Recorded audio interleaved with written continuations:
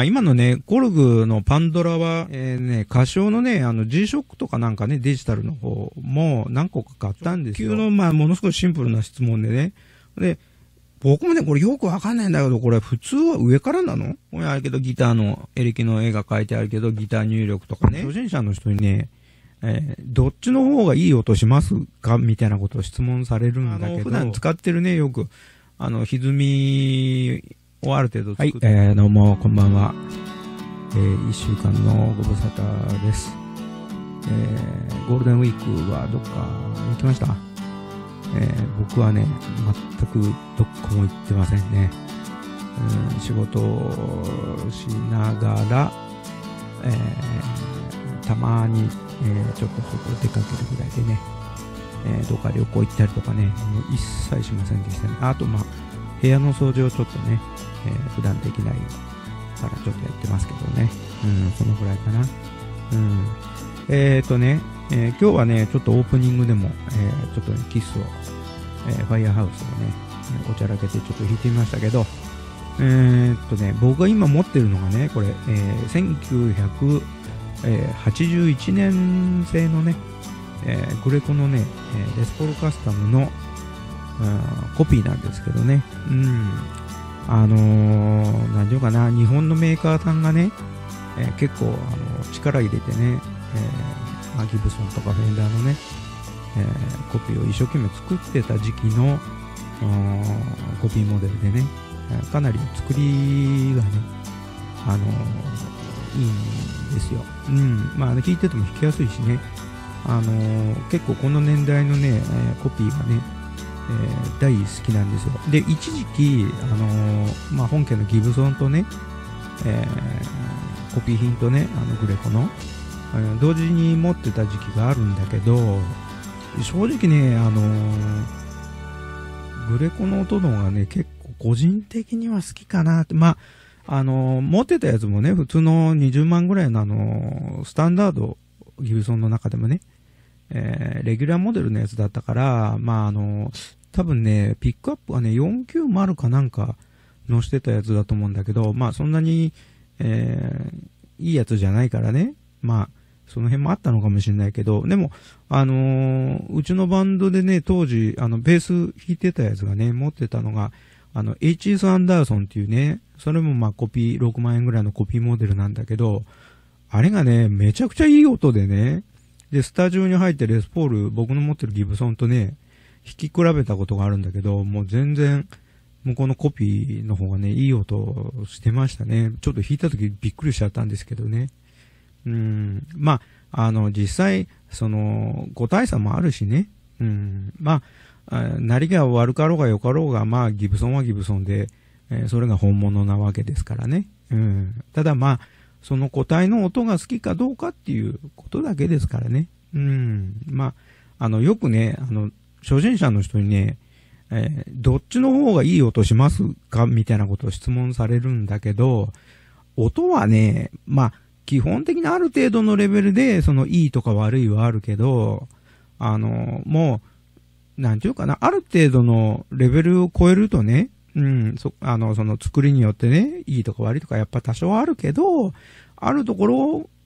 からはね、あの、もう好み、その人の、うん、高いからいい音するとかね、安いギターだから悪い音だとか、そういうことじゃなくてね、その、弾いた時にそのギターの音が好きかどうかってことが大事でね。うん。もちろん、その、ルックスとかね、その、えー、本家のそのブランドを手に入れるっていうね、その満足感っていうかね、そのブランドを手に入れた満足感みたいなのは、ああると思うけど、まあ、最終的にはその、ルックスとね、音っていうのはもう、好みだからね。うん。だから比べようがね、ない。だから、どれがどうだってことはね、僕からは言えないですね。うん。これでね、えー、この81年の、えー、このレスポールカスタムのコピーね。これね、え構造的にはね、全く普通の、なんていうかな、あの、本家のギブソンとね、全く同じ作りなんですよ。この年代の。えこれね、当時確かね、5万円ぐらいの EG の 500C っていうやつなんだけどね。えーと、マホガニーバッグに、え、メープルトップ、針のメープルトップの構造でね、もう同じなんですよ。普通のレースポールとね。あの、その本家のレースポールと作り一緒。で、えっ、ー、と、これよりね、ちょっと前の70年代の4万円前後のやつはね、あの、こう、よくあの、パンケーキとかね、ミルフィーユみたいな構造だとかよく言ってね、あの、本当に、えー、合板が上にね、えー、浮いて、浮かし、まあ、なんかね、セミホローボディじゃないかな、なんていう構造でね、中に空間がある。外から見るとね、ほとんど同じなんだけど、中は空洞になってるね、その、ケーキみたいな作りになってるレスポールのコピーがね、グレコも当時はあったんだけど、あのね、それ結構、あの、否定する人もいるんだけど、まあ確かに、あの、価格を抑えるためにね、いろんなところでケチった作りなんだけど、僕ね、あの、弾いたことあるんだけど、あれはあれでね、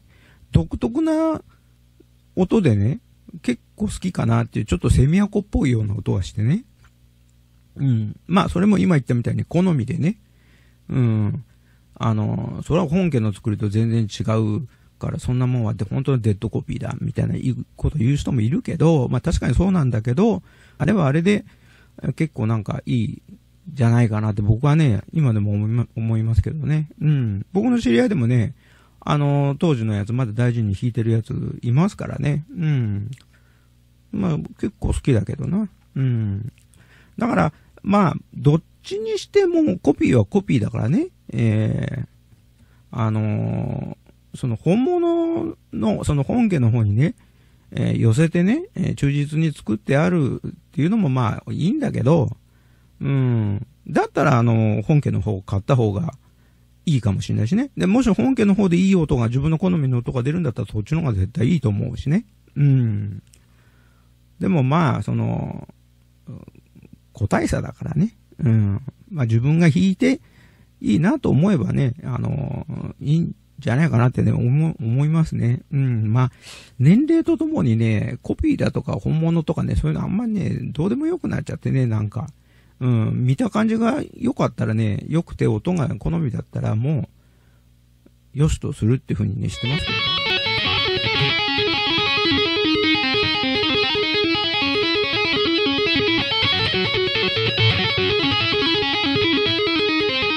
ね、ちょっとね、話は全然変わるんですけどね、えー、これね、僕が今してる時計ね、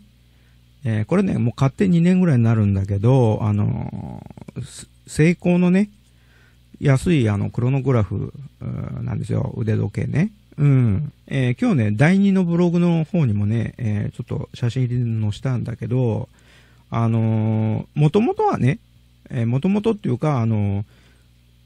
普段ね、あの、マラソンとかジョギングをね、えー、ちょっとやってるんですけど、ジョギングの時にね、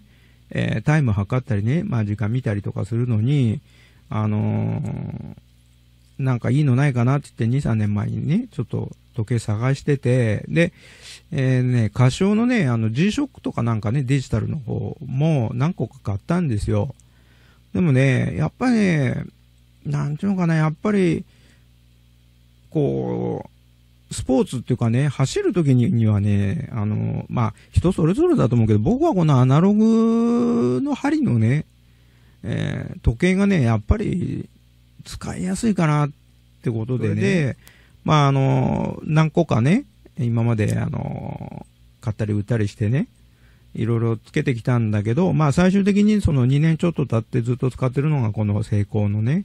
これがね、SSB の031とかいうやつでね、あ海外モデルだからね、安いんですよ。1万2、3千円。僕も1万2千円ぐらいで確か買ったと思うんだけど、これなんか現行でね、まだ、あの、あるんですよ。だから結構、こういうクラスの、えー、時計としてはね、結構、息が長いモデルで人気あるのかもしれないね、ひょっとしたらね。えー、軽いしね、厚みもそんなにないし、で、あの、ベルト外すのもね、このワンタッチで、このロックをね、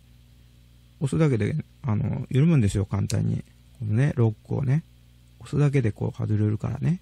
あの、まあ、あの、全部は外れんけどね、えここの引っ掛けがね、この押すとね、ペッて外れる。だからね、あの、結構ね、楽なんですよね。はめたり外したりするのがね。うん。で、あの、いつもはその、この、なんていうかな、この、この、まあ、ストップウォッチじゃないけどね、まあ、1時間こう、えー、回るようにね、えー、まあ、ここで1時間単位で見れるんだけど、まあ、そんだけしか使わない。ストップウォッチみたいには使わないんだけどね。うん。まあ、その1時間の、えー、その、時間のね、あれを、え、チェックするのに、あの、普段使ってんだけど、まあ、走るのにはね、重くもないし、え、で、あの、G-SHOCK みたいな、最初はね、あの、運動をやるには、その樹脂の、こう、ベルトのやつの方がいいかなと思ったんだけど、でも、金属のベルトはどうかななんて思ったけど、これね、いろいろ使ってみるとね、こう、僕はね、この金属のベルトの方がね、いい夏でも汗かいたりとかしてもね、洗うのも楽だし、まあもちろんあの樹脂のやつでも楽だけどね、僕はこっちのやつのがね、なんかベト使わなくてね、構この2年使ってみてね、冬、冬も夏もね、ずっとこれでやってたんだけど、やっぱ、いいかなと思ってね。まあ、で、まあ、その2年た、2年使ってみてどうだったっていうとかね、まあ、こんな感じだったっていうのをね、この前、あの、今日ね、今日第2の方のね、えー、ソネットの方のブログにね、えー、載っけたんですけどね。うん。まあちょっと、あの、友達にね、聞かれたからね。Thank you.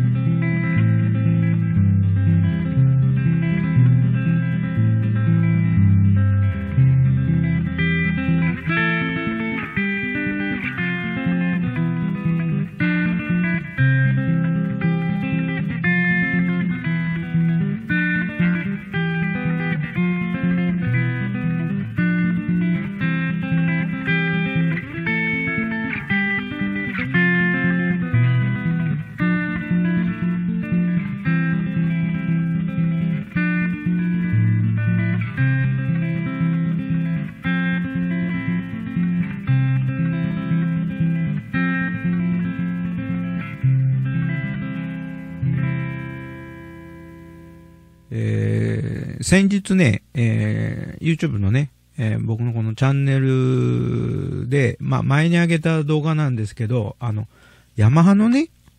あの、THR5 っていうこの小さい電池式のアンプで、ちょっと、えー、コメントっていうかね、ご質問をいただいたんですよ。で、えー、その方がね、えー、なんか、ケトナーのアンプと、ズームの、え、マルチかなんかを使っとられるみたいで、で、あのー、その、THR にね、あのー、マルチとか、その外部エフェクターをね、使うとどんな感じだみたいな、あ感じのね、えちょっとまあご質問、確かね、そういう、えー、コメントだったと思うんですけど、でね、あのー、本当申し訳ないんだけどね、僕ね、ケトナーのアンプはね、一回ぐらいね、借りてえー、スタジオかなんかでね、弾いたことはあるんだけど、あんまり、その、自分の中でケトナはこういう感じの音だみたいな、なんかね、ちょっと認識がね、ちょっとないもんですから、あのー、よくわからないんだけど、まあ、あのー、どうなのかなあのー、うん、まあ、あのよくわかんないんですよ。で、あの、その、この THR ね、THR に今日は、ね、THR5 に、えー、僕は普段ね、えー、普段よく使ってるこの、コルグのね、え、パンドラをね、えちょっと繋いでね、え弾いてみますね。うん。まあ、何の参考にもなんないですよね。うん。けど、まあ、あの、普段使ってるね、よく、あの、歪みをある程度作った音をね、ちょっと通してね。で、あの THR の方はね、えー、一応、クリーンの、このね、全く歪まない、えー、クリーンの、えー、設定で、えー、トーン関係もね、ま、ほぼセンター、えー、ゲインもマスターもね、ほぼセンターぐらいでね、え、ちょっと、まあ、あの、な、あの、繋いでね、ちょっと弾いてみますね。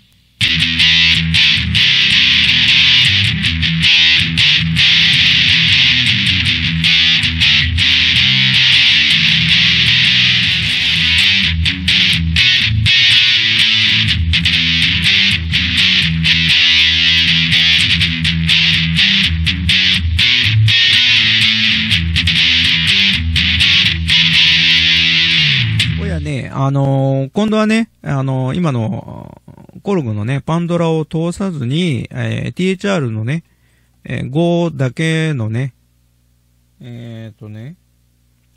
えー、マルチを通さずにね、THR5 だけでね、アンプの歪みで、えー、同じようにちょっと弾きますね。うん。あのね、設定はね、一番上のね、モダンってやつだね。一番よく歪むやつの設定で、あの、ゲームをマスターも大体ね、12時ぐらいの位置でね、えー、ちょっと見ますね。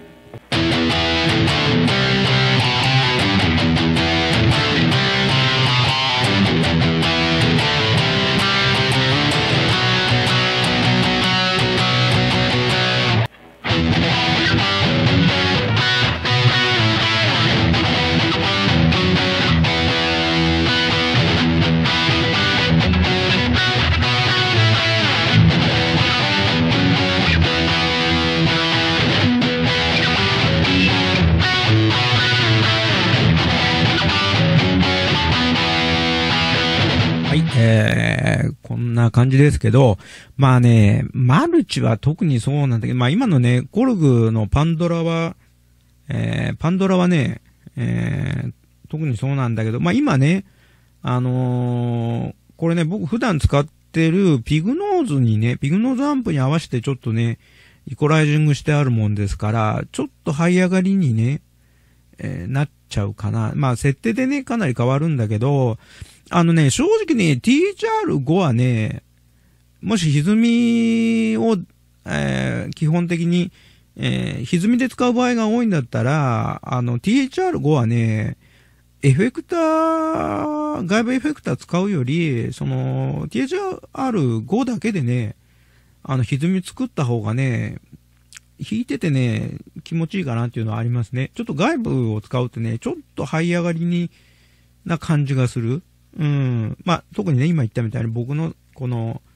設定ね、えー、トーン設定がちょっときつめにしてあるからね、ピグノーズに合わせてね。まあその辺もあると思うんだけど、でも全体的に言うと、あの僕あのミニアンプいっぱい持ってんだけど、あのー、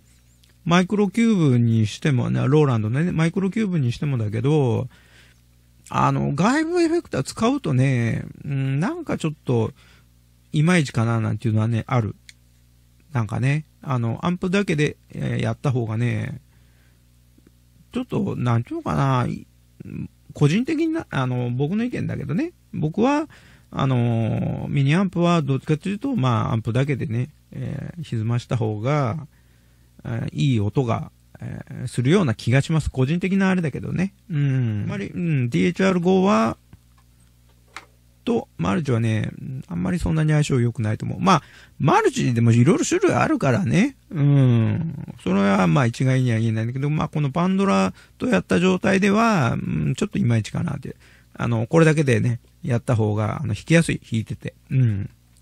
ということです。ごめんなさいね。あんまり、何の参考にもならんかったね。うん。まあ、そういうことです。ちょっと知り合いとね、うん、あの、ダイナミックマイクの話になったんですよ。で、これね、今喋ってるのね、これダイナミックマイクなんですよ、僕ね。えー、ミキさんに通して、ギターとかなんかミキミキさんに通してね、一緒にやってんだけど、あのー、今使ってるのはね、あのー、オーディオテクニカのね、安いやつなんですよ。3000円とか4000円ぐらいの安いマイク使ってんだけど、あのー、手話のね、あのー、手話のね、ごっぱちっていうのも持ってて、それね、ちょっとあの、知り合いにずっと貸してあったんですよ。まあ、貸してあったんだけど、なんか気に入ったみたいでね、まあ、じゃあ、あの、まあ、プレゼントするよってことで、まあ、あげちゃったんですよ、前に。うん。で、あのね、なんで、あの、よくね、ごっぱちごっぱちって、まあ、あの、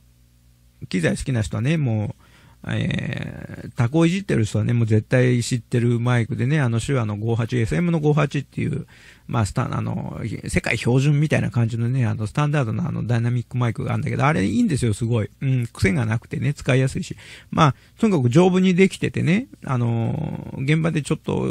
ちょっとや外じゃ壊れないようなマイクなんだけど、あの特性に癖がなくて丈夫だしって、あんまり悪いところがないんですよ。で、あの、SM58 はダメだなんていうこと聞いた、そういう話をね、聞いたこと一回もないし、使いやすくて、値段もね、安いんですよ。あれ1万円ちょっとぐらいで買えるんだけど、で、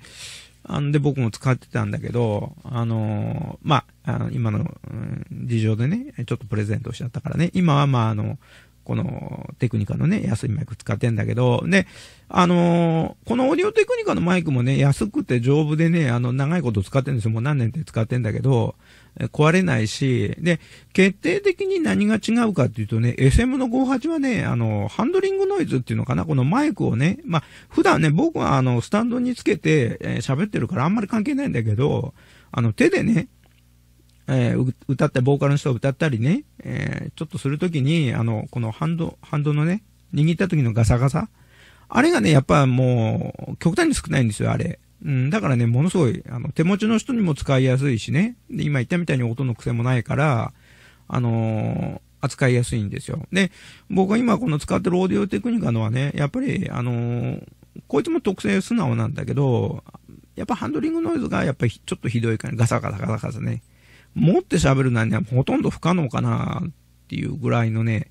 えー、マイクなんですよ。うん。で、まあその SM の58の話になってね、あなんかね、ダイナミックマイクをカラオケ用に買おうかなと思ってるっていう話でね、何がいいなんて言ったもんで、まあ、予算1万円ぐらい出すんだったら、まあ、減ったなやつを買うより、まあ、その、手話のね、SM58 買った方が、ごっぱちを買った方がいいよ、なんていう話でね。で、あのー、その人はね、その、SM58 ってマイク知らないって言ったんですよ。まあ、でも、見ればね、見た感じ、そのルックスで、ね、多分、わかると思うよっていう話はしてね。でまあ、どんなマイクっていう話でね。えー、まあ、あの、丈夫で癖がなくて、あまあ、業界でも知らない人はいないぐらいのマイクだよって言って。好きな人は何本もね、あの、プロじゃなくても何本か持ってる人いるからね。うん。あれはね、いいマイクですよ。多分ね、1万、安いところだとね、1万円ちょっと、なんで1万円ジャストで買えるんじゃないかな。まあ、消費税入れて1万800円とかね、1万2000円はしないんじゃないかな。うん、高いところで1万3000円ぐらいじゃないかな。うん。うん。だからね、変なマイクね、2000円とか3000円ぐらいのね、まあ僕みたいにその、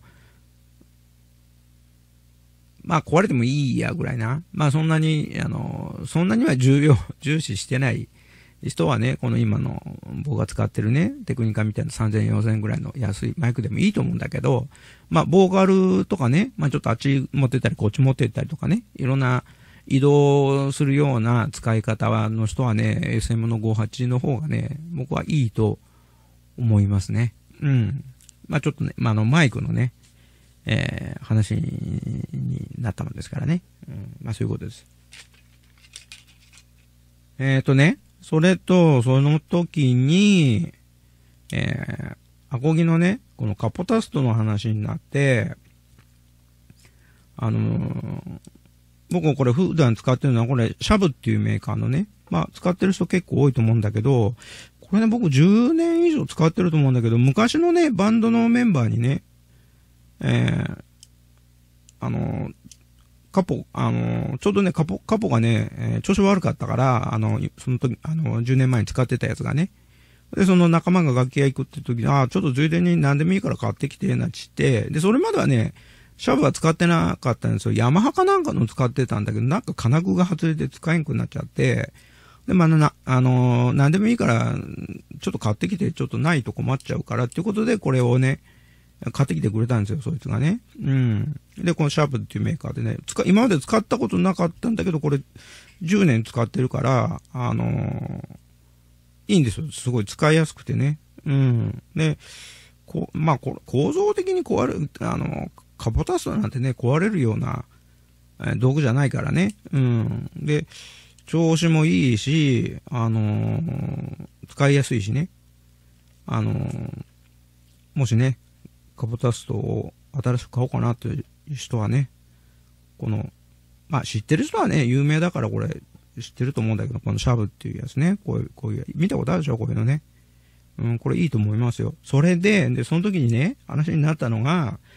カポタストってどっちからはめるのなんていう話になったんですよ。これ、直球の、まあ、ものすごいシンプルな質問でね。で、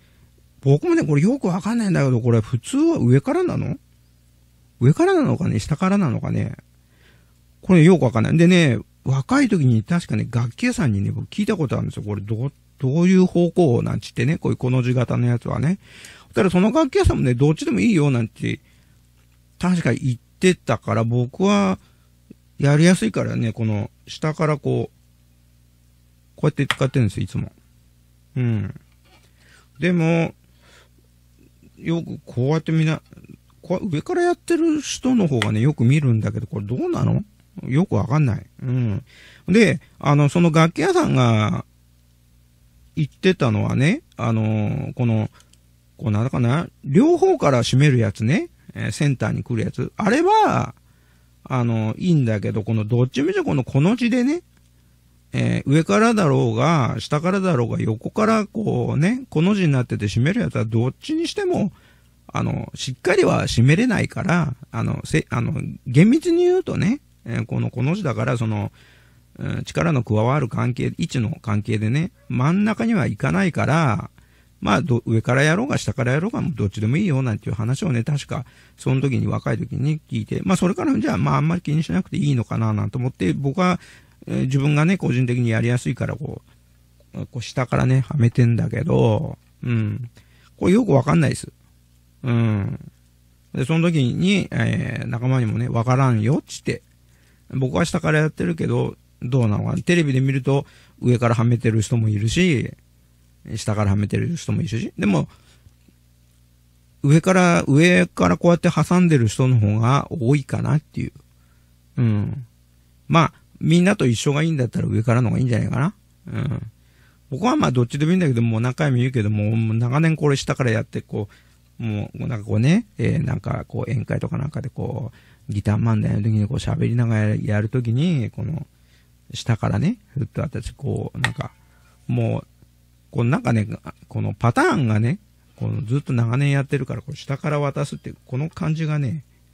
えー、慣れてるから、もうこの方がね、あの、使いやすいんですよ。うん。音はね、もう何回も言うけど、そんなにさほどね、変わんないと思います。うん。うん。カポトストのね、えっ、ー、と、シャブ。最近ね、まあなんかその、ね、薬物のいろいろあるけど、まあそうやって覚えといて、あの、シャブ、やっちゃいけないシャブ。シャブってね、シャブって覚えて、これいいよ。すごくね。安いよ、これ確かね。えっ、ー、とね、それと、えっ、ー、とね、今日はね、ちょっとね、これまだね、開封してないんですよ。これ知ってるよね、みんなね。これ、iPhone 用のね、えー、コンパクトなミキサーなんですよ。うん。これ、ね、小さいんだけど、これ、えー、っとね、入力で言うとね、あの、8K と、うん、あるんですよ。まあ、ステレオのね、右左を2チャンネルで考えて、えー、一つをね、えー、2チャンとして考えると、あの、全部で8チャンネル入力があってね。うん。で、これもなんで買ったかっていう、これね、あの、まあ、最近はね、えー、この動画撮るのも今もそうなんだけど、これ iPhone でそのまま撮ってるんですけど、で、あの、ミキサーにね、ギターとかマイクとか通して使ってるんですけど、これあの、中間にね、ローランドの、あの、キューブライトっていうモニターを通してあるんですよ。で、あの、i、iCube リンクっていうリンクを使ってね、iPhone の方のあイヤホンジャックとかヘッドホンジャックのとこね、4曲の。あれに通してね、えー、こう総合モニターできるようにね、えー、便利だから使ってるんだけど、ただね、あのー、結局ヘッドホン端子のところの入力を使ってるから、あの、モニターとして出すのはステレオなんだけど、入力としてはね、モノラルになっちゃうんですよ。うん。で、普段ね、マイクで喋ったりとかギター弾くぐらいだからモノラルでもいいんだけど、たまにエフェクターでね、えー、ステレオコーラス系をちょっと使いたいなとかいう時に、まあそのまま撮ってるから、えー、モノラルになっちゃうからね。で、まあ、あの、ビデオをね、その動画を編集して最後にあの、BGM 流したりとか、するのは結局パソコンの方でやってるからね。それはあの、ステレオで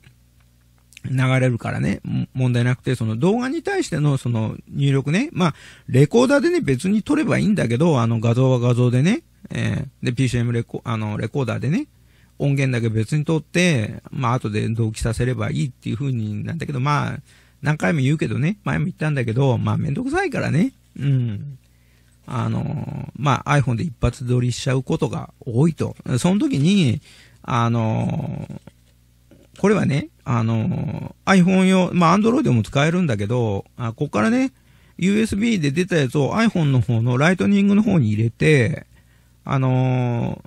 ー、ステレオ出力できるんですよ。うん。で、ライトニング経由、USB のね、ライトニング経由で、あのー、iPhone の方から電源供給をするから、このミキサー自体にはね、あのー、電源いらないんですよ。うん。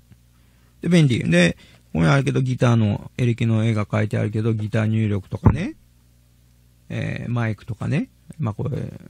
エレピとかなんかのね、LINE 入力とか、ああとはまあ、えー、なんかね、レコーダーとか他のスマホとかなんかの BGM 流したりとか、うん、まあ、あの、配信に使おうと思ったらね、あのー、生放送のね、ああいうのにも使えると思うんですよ。うん。で、あの、なんかそういうコンパクトなやつでいいのないかななんて思ってね、ちょっと前から探してたんですけど、なかなかね、自分の思った通りのやつがなかなかなかったんだけど、で、これがね、えー、3月先々月ぐらいに、えー、発表になって、4月ぐらいから普通に売ってるんだけど、うん。で、まあ、レビューしてる人もね、えー、多いと思うんで、外国の人がね、結構レビューしてるね。うん。なかなかね、これおすすめですよ。定価がね、定価というか、普通の売価がまだ値段下がってないから、これ1万円でね、税込み1万800円ぐらいでね、えー、売ってます。ぐらいとか1万800円だね。定価1万円だからね、確か。これね、ものすごいいいと思いますよ。で、あのー、iPhone 使ってね、これから、あのー、YouTube 動画投稿しようかなとかね、これから、えー、なんかやろうかななんて思ってる人は、まあ、下手なミキサーとかね、えー、インターフェースを買わなくてもね、これ1個でね、8系統入力があるってすごすごいもんね。まあ、8チャンネル、うん、入力ね。で、えー、ライトニングで、えー、ステレオ出力できるから、いいと思いますよ。うん。で、あダイナミックマイクしか使わんだったら他は絞ってきゃいいだけでね。まあ、そこでギター入れて、ちょっと弾いてみたりとか弾き語りやったりとかするのも iPhone とこれだけあればね、電源いらないから。うん。で、じゃあ、あのー、iPhone 専用でライトニングじゃないと使えないの？っていうことじゃなくてね。で、その USB の、えー、ポートのところにね、えー、モバイルバッテリーをつないでね。で、あのヘッドホン出力があるから、あのまあ、そこからライン取ってね、えー、まあ、他の方のなんかアンプとかなんかに繋いだりとかね、えー、いう、その普通のアナログミキサーとしてもね、普通に使えるから、えー、スマホだけじゃなくてね、あのいいと思うんですよ。で、その時に、まあ、あのいろんな機材がごちゃごちゃしなくてもね、これ1個と、えー、スマホ、あとマイクがあればね、えー、ちょっとした、ことができちゃうからね、これはね、いいと思いますよ。でね、えー、今日ね、これ、あの、連休中に僕頼んでね、今日、さっき郵便屋さんが持ってきてね、来たばっかでね、まだちょっと、えー、開けてないんですけど、まあ、今度ね、ある程度ちょっと使ってね、こんな感じだよ、みたいなのちょっとね、えー、近いうちにやりますけどね、このね、えー、ローランドのね、ローランドのゴ、ゴ、ゴーミ、 GO MIXER、あーってやつね、1800円ね。これ、おすすめです。このブリスターパックでね、まあ、こういうところで、あのー、いろいろ値段を抑えてるんだろうね。これ内容的には1万円だから安いと思うんですよ、これすごい。うん。まあ、下手なインターフェースをね、だいたいインターフェースで1万円とか1万5千円とか2万円以内ぐらいでね、よく売ってますけど、まあだいたい、あの、2ちゃんぐらいでもね、入力ね、2イン、2アウトぐらいだから、まあこれ、8チャンネル使えるからね、全部入れるとね、8チャンネル使えるから、うん、下手なやつよりこっちの方がいいんじゃないかな。ただ、あの、入力はね、あの、普通の標準だから XR、XLR じゃないからね、あの、キャノンプラグじゃないからやあの、ね、キャノンじゃないから、まあ変換がいるけどね、その標準にするね。うん、だけどまあ、軽いしね、小さいし、いいんじゃないかなと思います。うん、ゴローランドね、えー、ゴーミキサーってやつね、えー、これを買いましたということです。まだ、あのー、AKN5 の方のブログの方にもね、またあのえー、2、3日中にはね、多分、えー、AKN5 の方のブログでね、えー、載せると思いますんでね、また見てね、よかったらね。えー、それとね、最後にね、え、いつも飲んでる仲間とね、ちょっとあの、カップヌードルのね、話になったんですよ、これ。カップヌードルね。まあ、最近いろんな種類あるけど、で、あのー、もし一人のやつがね、その、まあ、カップヌードルの話したときに、僕はこのカップヌードル、普段食べてるのライトだよっていう話してね、えー、だいたい190キロカロリー198、えー、まあ200以下ぐらいのカロリーでね、あの、普通のカップヌードルはま400近く、380とか、あれかな？で、カレーヌードルが400超えちゃうんだけど、400キロね。え超えちゃって、まあ、夜ね、夜食に食べるにはちょっと重いかなっていうやつだから、まあ、普段はこのライトのね、200キロ切ってる、カロリー200キロ切ってるやつ食べてるよってね、あ、なんでそのカロリー、カップヌードルってそんなカロリーいろいろ分かれてあるの？なんていうね、話になったんですよ。まあ、あのー、その人はね、あの、知らなかったんですよ、このライトの存在をね。うん。まあ、ひょっとしたら、えー、知らない人もいるかもしれないからね。夜食にはね、カップヌードルライト。これね、いいですよ。これ、前はね、夜食でよくね、シーフードヌードルとかね、カレーヌードル、あの、仕事やりながらね、夜食で食べてた時ね、結構体重増えちゃったんだけど、で、もうこのライトにしてから1年以上になるんだけど、これ、夜ね、お腹が減ってね、まあ、9時とか10時に食べちゃえばね、あのダメだけど、まあ、ちょっと小腹が空いたからなんかカップヌードル食べたいなっていう時はね、このライトってやつね。うん。太らないとは言わないけど、太りにくい。うん。まあ、1年以上経ってみてね。いいんじゃないかなと。でね、これね、じゃあ、ライトだから味もライトなのとか思うでしょ？うん。カロリーはね、抑える、抑えてあるんだけど、結構ね、スパイス効いててね、味しっかりしてるんですよ。うん。だから、こう、一緒に食べるとね、何も言わずに食べると、あ、なんか普通のカップヌードルよりちょっと濃いめのタイプとか思うぐらいに結構スパイシーでね、僕は好み的にはね、結構好きかなって、えー、感じ、結構好きな感じですよ。うん。ただ、まあ、ノーマルなやつとかシーフードとかカレーヌードルみたいに、この腹にね、お腹にガツンとくる感じはね、確かにない。ちょっと物足りないかなと思うかもしれないけどね、夜はね、こっちの方がいいと思いますね。えー、カップヌードルライトね。よかったら、あの、いか、あの、チャレンジしてみて。はい、えー、そういうことでね、今日もね、ちょっと、今日はいっぱいちょっと喋れたね。うん。これでね、あのー、これちょっとあのー、この前仕事のね、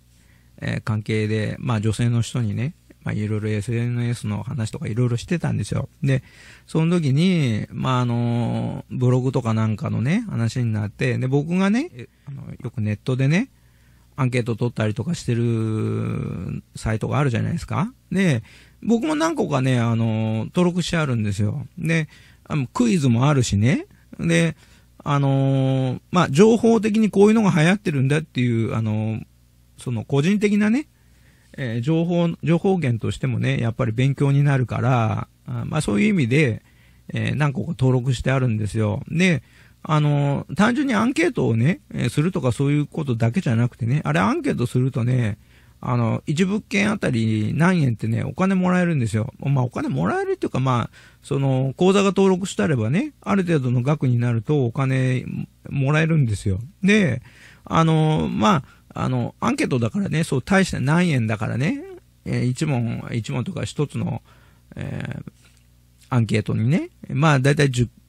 10問とか12問ぐらいの質問があってね、うん、それで大体、まあ、あの、ほとんど1円とか2円とかそんなレベルなんですよ。うん。なんだけど、あの、まあ、今言ったみたいにその情報をね、勉強させてもらうっていう、あれでね、えー、朝ね、朝とか夜にいつもね、ちょこちょこやってるんですよ。で、まあ、そのお金のことなんか気にしてないじゃないですか。で、たまに、あの、チェックするとね、結構何百円とか何千円になってるんですよ。うん。で、まあ、ある程度になったら、まあ、あの、その指定の口座の方にね、えー、振り込んでちょうだいよって設定するんだけど、まあ、それがね、あの、500円とか、まあ、1ヶ月にね、500円とか1000円ぐらいなんですよ。うん。でも、あの、何ヶ月かほかっていくとね、3000円、4000円になってるから、で、まあ、よくあの、ブログね、SNS、ブログは大体まあ、無料のブログ使ってる人多いと思うんだけど、で、僕はあの、自分のね、サーバーの、レンタルサーバーの方借りて、ブログね、えー、ワードプレス入れてね、やったりとか、まあ、いろんなサイトね、サーバー持って、えー、レンタルサーバーでね、えー、ホームページ作ったりとか、まあ、何個か、あの、持ってるんだけど、で、普通の無料ブログもやっぱ何個かやってるんですよ。で、無料ブログもやってるけど、まあ、その、自分が意図しない広告ね、え勝手に向こうが、あの、指定した広告を出してくるのは鬱陶しいなっていうのがあるから、まあ、自分が、あ流したい広告を、あの、貼りたいからね。うん。だから、まあ、あの、無料ブログなんだけど、あの、多少お金出して、まあそういう広告をストップできるようにね、あの、何百円っていう有料に切り替えてやってるのもあるんですよ。で、まあ、そういうのも何個か持ってるとね、えー、まあ、経費まではいかないけどね、まあ、何百円とか何千とかかかるじゃないですか、月に。まあ、そういうお金もさっきやった、あの、言ったね、アンケートとかなんかで、結構そういう、う、かかる、1ヶ月にかかるお金がチャラになるから、あのーやった方がいいんじゃないって登録だけすればいいじゃんって。で、あの、暇な時にね、夜寝る前とか、僕みたいに朝起きて、まあ日課にするとね、そんなに苦になりませんからね、えー、どうなんて話をね、えー、してたもんですから、あの、まあ、あの、興味のある人はね、そのアンケート登録ね、そういうサイトの登録ね、やるとね、ちょ、ほんのちょっとだけどね、お小遣い稼ぎできるからね、やったらいいんじゃないかなってね、えー、思います。はい。えー、はい。えー、そういうことでね、今日何個か喋ったけどね、あのー、また、えー、来週ね、えー、こんで連休明日でね、ゴールデンウィークも明日で終わりですのでね、また来週ね、えー、多分週末ぐらいにね、またアップしますのでね、ギターで、えー、ラジオのコーナーでした。ありがとうございました。